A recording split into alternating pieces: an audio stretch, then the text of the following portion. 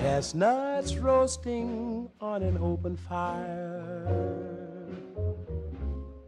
Jack Frost nipping at your nose.